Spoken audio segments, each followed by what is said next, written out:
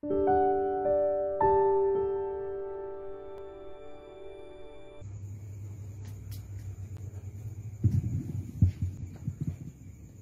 الله الرحمن الرحيم.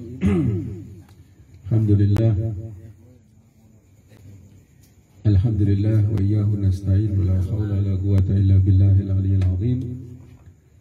رب اشرح لي صدري ويسر لي أمري واحلل عقدة من لساني يفقهوا قولي. اللهم ارزقنا علمه وارزقنا فهمه. اللهم أخرجنا من ظلمات الوهم وأكرمنا بنور الفهم. اللهم افتح علينا أبواب رحمتك وانشر علينا خزائن علومك برحمتك يا أرحم الراحمين. أصلي وأسلم على النبي الكريم سيدنا وحبيبنا محمد صلى الله عليه وآله. وعلى آله وصحبه أجمعين ومن تبعهم بإحسان إلى يوم الدين بسم الله Ma'asyiral mu'minin wal mu'minat rahimakumullah Assalamualaikum warahmatullahi wabarakatuh Alhamdulillah pada malam yang mulia ini di hari-hari bulan Maulid di pekan pertama bulan Maulid di tempat yang mulia ini di majelis Mujalasatul Aulia Kebun Sufi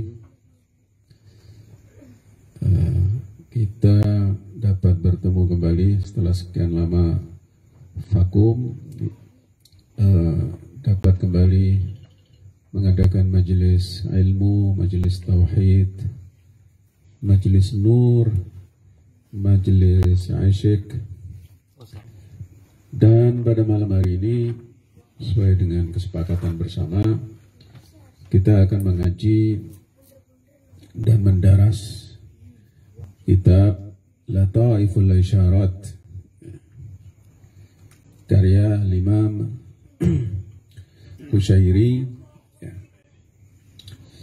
An-Naishaburi ya. Ini kenapa kitab ini yang kita kaji karena kita fokus pada kajian kesufian, tafsir sufistik, dan juga kajian tafsir yang memang itu eh, saya tekuni sekian lama. Dari saya belajar S1, kemudian S2, S3 itu uh, hampir semua berkecimpung dan berkaitan dengan dengan tafsir. Ya. Uh, misalnya pada uh, jenjang S1 itu saya mengkaji, meneliti tentang dimensi syifa Al-Quran, bagaimana Al-Quran bisa menyembuhkan. Nah, apa yang dimaksud penyembuhan menurut Al-Quran. Kemudian pada uh, S2-nya kita meneliti tentang uh, tasawuf dalam Al-Quran. Saya meneliti apakah ada isyarat tentang tasawuf dalam Al-Quran? Apakah Al-Quran itu bisa menjadi sumber kesufian? Sumber tasawuf itu ada dalam Al-Quran atau tidak?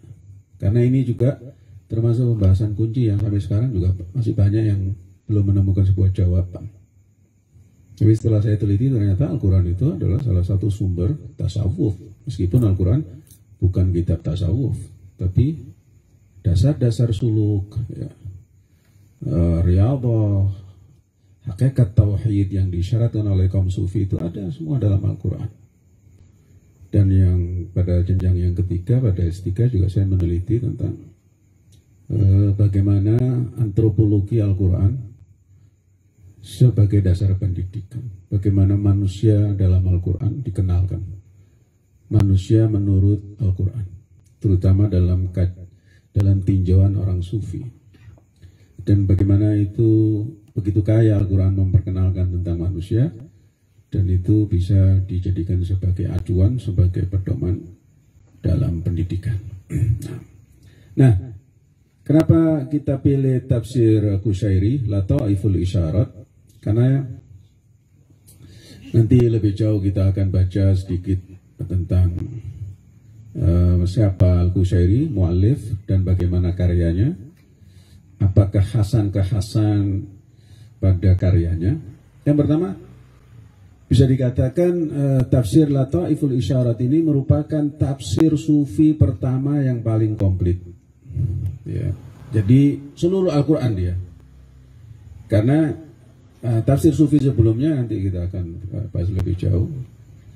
Karya Sal Tustari itu tidak lengkap, tidak mencakup seluruh Al-Quran.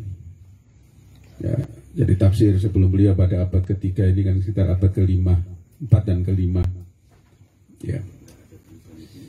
Jadi kemudian jadi tafsir sebelum beliau itu tidak komplit. Kalau beliau ini komplit tiga jilid ya.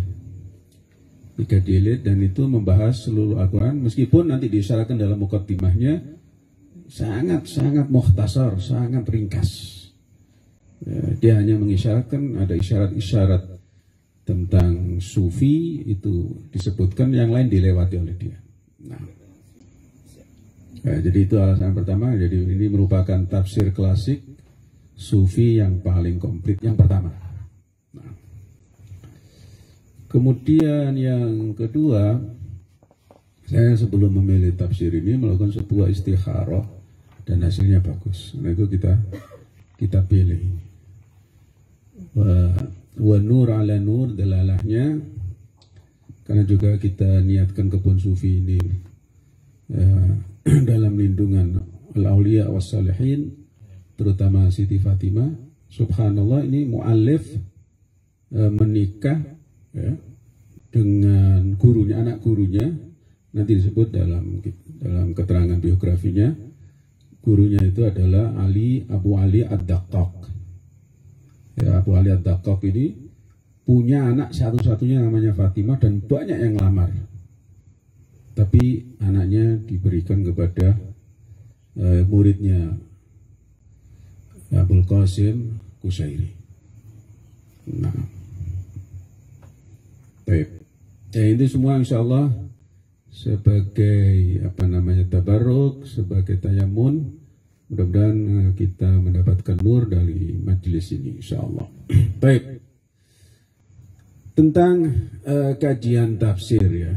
Satu kajian tafsir ini agak jarang dilakukan ya pada skala Indonesia ya, apalagi Cirebon ya, hampir jarang ya kajian-kajian tafsir yang serius ya. Uh, ya meskipun ada kajian-kajian tafsir apa seperti uh, tafsir apa namanya iklil, tafsir Jalalain, Hah? Jalalain ya. ya. Tapi itu sangat terbatas ya. Dan lebih terbatas lagi kajian tafsir enggak, tafsir sufi. Ya, ya, lebih terbatas lagi. Karena satu gak semua menguasai dan yang kedua gak banyak juga yang akrab dengan kajian kesufian lagi dalam bentuk tafsir. Dan yang ketiga masih banyak juga yang uh, menyepelekan bahkan uh, dalam tanda kutip memusuhi kesufian. Jadi sufi itu juga masih banyak orang yang belum bisa menerima. Ya, ya pasti banyak kalangan yang menganggap uh, sufi itu ilmu pinggiran hanya untuk orang-orang tertentu saja. Kalau saya, saya bisa buktikan bahwa kesufian itu tasawuf itu merupakan batin daripada apa Islam dan dia nggak bisa dipisahkan. Buat tafsir sufistik itu merupakan uh, jenjang untuk kita bisa melewati dohir Al-Quran. Jadi makna dohir ada makna batin. Nah, tafsir kesufian itu mak apa namanya? Eh, apa namanya berusaha melewati makna dohirnya. Nah. nah, yang pertama sebelum kita membacakan tentang tarjam, tarjama mualif, biografi mualif, ya, uh, dan kemudian nanti memasuki kitabnya, materi kitabnya. Ada uh, beberapa pertanyaan serius sebagai mukaddimah.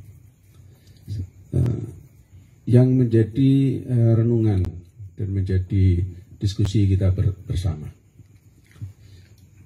Yang pertama tentang makna tafsir. Ini diskusi ya. Di diskusi itu saya menyampaikan pendapat, Anda bisa setuju, bisa tidak setuju. Nah, nanti kita olah, kita sempurnakan. Makna tafsir. Apa makna tafsir? Tapi nanti detailnya ini insya Allah pada pertemuan berikutnya karena ini eh, makna tafsir secara nanti lugawi berbagai pendapat rangkuman berbagai pendapat. Tapi yang saya sampaikan sekarang ini adalah pendapat saya hasil telaah saya. Kemudian nanti detailnya kita akan bahas pada pertemuan berikutnya makna tafsir secara ruhawi, secara istilahi, menurut berbagai ulama, pandangan berbagai pakar. Kemudian baru nanti kita diskusikan bersama. Paling tidak malam ini Eh, Anda punya punya pandangan kira-kira apa sih tafsir itu? Ya. Karena uh, definisi ketika semakin jamik, ya, jamik dan manik itu salah satu kalau kita mau definisi paling tidak jamik dan manik. Jamik berarti komprehensif, cakup semua. Uh, ya, manik berarti dia menghalangi hal-hal yang tidak bisa dimasukkan apa namanya dalam definisi itu. Baik. Tentu setiap orang ketika ditanya ya, tentang apa namanya apa definisi daripada tafsir itu pasti punya pandangan berbeda-beda. Seperti yang saya katakan nanti kita akan bahas pada pertemuan berikutnya tentang definisi tafsir banyak pandangan. Tapi eh, saya menurut saya eh, ini saya merangkum dari berbagai kitab kira-kira eh, definisi tafsir seperti ini. Ini bahasa Arabnya dulu saya bacakan kemudian nanti saya terjemahkan. At-tafsir huwa tabyin maqasid wa ma'ani al-ayat al-Qur'aniyah lil husul 'ala al-murad al-jiddi ala asas al-istintaq wa ri'ayah al-qawaid al-arabiyyah wa usul al-uqala fil muhawarah ma'al istifada bil manabi wal qara'in al-mu'tabarah. Kaji Bagir mohon diterjemahkan.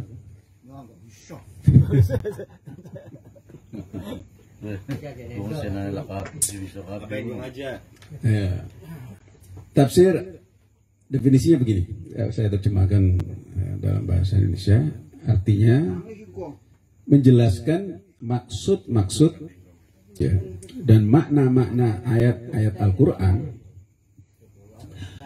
untuk mendapatkan ya, maksud yang serius. Ini perlu digarisbawahi. Maksud yang serius maksud serius dari siapa? Al mutakallim dari pembicara yaitu Allah subhanahu wa taala. Maksud seriusnya apa? Ya. Berdasarkan nah ini kemudian ada aturannya. Berdasarkan apa? Ala asas al istintak apa itu al istintak al istintak saya ambil dari perkataan Sayyidina Ali. Zalikal Quran fastantiku. Itulah Al Quran fastantiku. Kalian harus al istintok berasal dari kata-kata natak nutuk. Natika yantiku nutkan ini berbicara. Kamu buat istintok dari uh, wazan al istifal berarti apa? Meminta. Ghafara al istighfar kalau al istighfar meminta ampunan ya.